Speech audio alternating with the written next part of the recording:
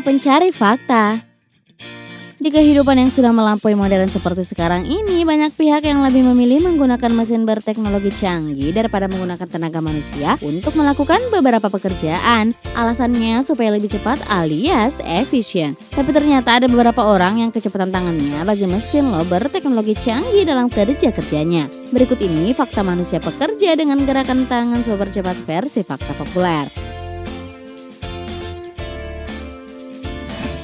Tapi sebelum lanjut, saya ingatkan ya untuk subscribe channel ini dan aktifkan lonceng notifikasimu untuk mendapatkan video terbaru dari channel Fakta Populer.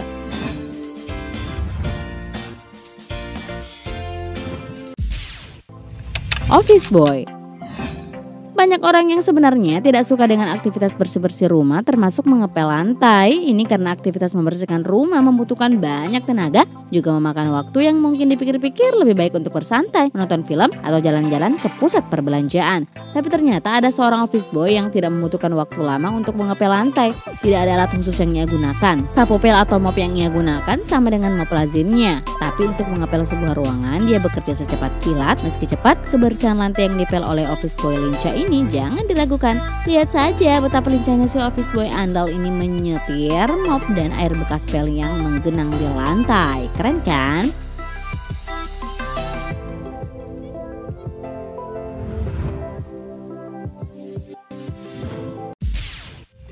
Penjual es krim Kalian mungkin salah satu manusia yang sangat menyukai es krim kan? Tapi kalian pasti agak sebel kalau harus menunggu lama es krim kamu jadi. Menunggu memang sering kali meresahkan, apalagi untuk menikmati es krim kesukaan. Tak jarang kita kesal jika harus menunggu lama si tukang es krim untuk mencampurkan topping ke cup es krim. Tapi ini tidak berlaku bagi seorang pembuat es krim yang satu ini. Lihat aja nih dengan lincah, laki-laki ini mengolah adonan topping es krim dan menaruh topping itu di atas cup es krim. Kalau pembuat es krim seperti dia ada di sekitar kita, betapa nikmatnya es krim yang tidak perlu membuang waktu cukup lama menanti es krim dambaan.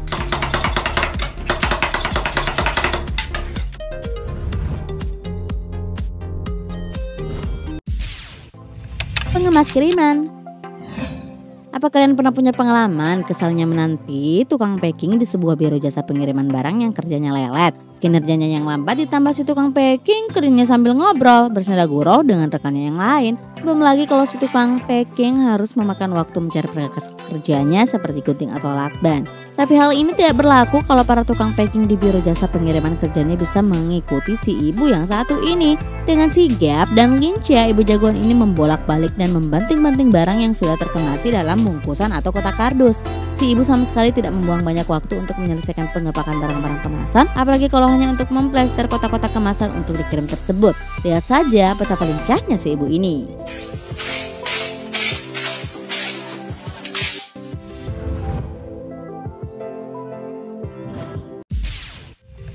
Pekerja jalan. Kalau di negeri kita biasanya pengerjaan jalan dilakukan malam hari kan? Kerjanya juga biasanya memakan waktu berhari-hari. Kalau pengaspalan atau betonisasi jalan tampaknya masih bisa dikatakan wajar kan tapi bagaimana kalau hanya pemasangan paving block? Sementara kerjanya harus memakan waktu berhari-hari. Terlalu lama kan? Tapi menanti selesainya pengerjaan jalan yang hanya pemasangan paving block tidak akan memakan waktu terlalu lama jika pekerja jalannya seperti laki-laki pekerja jalan yang satu ini. Entah ada apa ya dengan tangan laki-laki ini sehingga gerakan tangannya bagai mesin menyusun batu-batu itu tergeletak di jalanan. Tidak asal jadi pekerja jalan ini juga menyusun batu-batu tersebut tetap sesuai pola dengan rapi.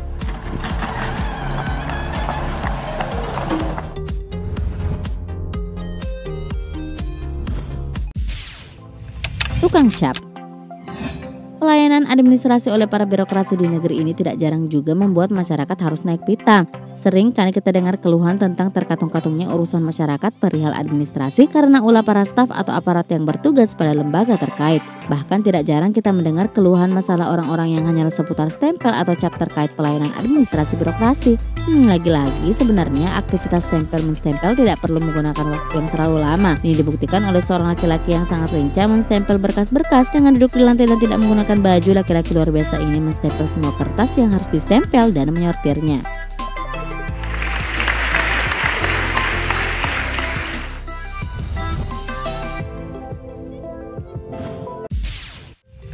Penghitung uang Apa yang terpikirkan nih oleh kalian ketika mendengar frasa penghitung uang?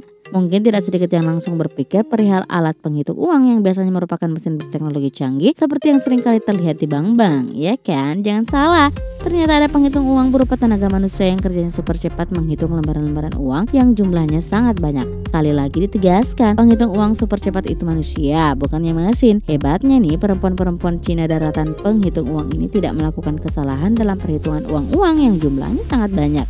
Perhatikan betapa cekatannya perempuan-perempuan berseragam biru itu mengeluarkan uang dari karung, merepikan uang yang lecek, lalu uang-uang itu dihitung dengan konsentrasi penuh dan permainan tangan yang sangat cepat.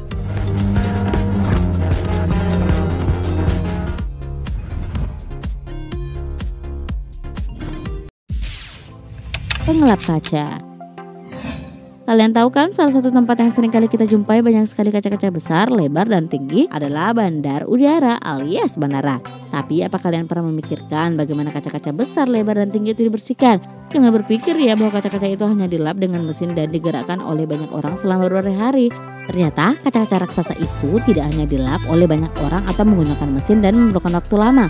Pasalnya, ada seorang laki-laki pengelap kaca yang kinerjanya super cepat dalam hal melap kaca. Laki-laki berbadan tambun dan rambut gondrong terikat itu bagai memperagakan jurus kungfu melap kaca-kaca bandara dengan sangat lincah. Kalau kalian melihatnya, mungkin kalian akan teringat dengan sosok Sam Mo Hong, aktor laga film-film aksi produksi Hong Kong.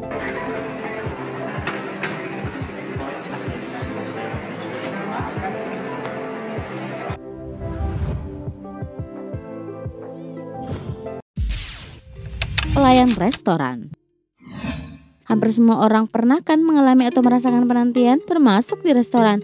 Bahkan sepertinya menanti di restoran merupakan salah satu momen penantian yang paling mengesalkan di dalam kehidupan manusia. Mulai dari menanti pesanan datang, dilayani pelayan, juga menanti pembersihan sisa-sisa makanan di meja yang ingin ditempati. Sudah terbayangkan betapa mengesalnya penantian atas hal-hal itu? Kesal karena menanti di restoran tidak akan sedikit pun menjadi pengalaman hidup kita kalau saja para pelayan restoran bisa bekerja cekatan, cepat, dan sangat lincah seperti pelayan pembersih sisa makanan di meja dalam cuplikan video ini.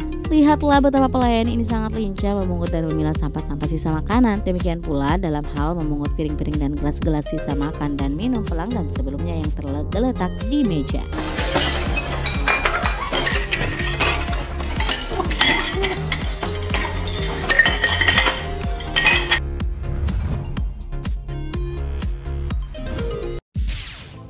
Kalkulator lima jari Mengetik komputer dengan 10 jari itu sudah biasa ya, tapi kalau menghitung dengan kalkulator dan semua jari berfungsi, apa kalian bisa?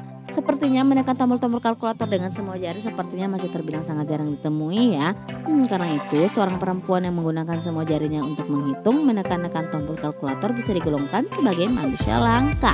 Hal yang membuat perempuan berwajah oriental itu patut dikagumi karena kalihayannya menggunakan kalkulator adalah si perempuan tetap menekan semua tombol kalkulator yang seharusnya sementara matanya tetap melihat catatan angka-angka yang harus dihitung.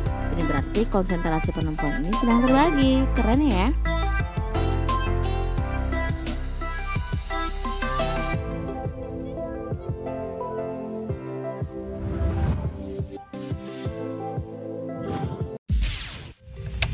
memotong semangka.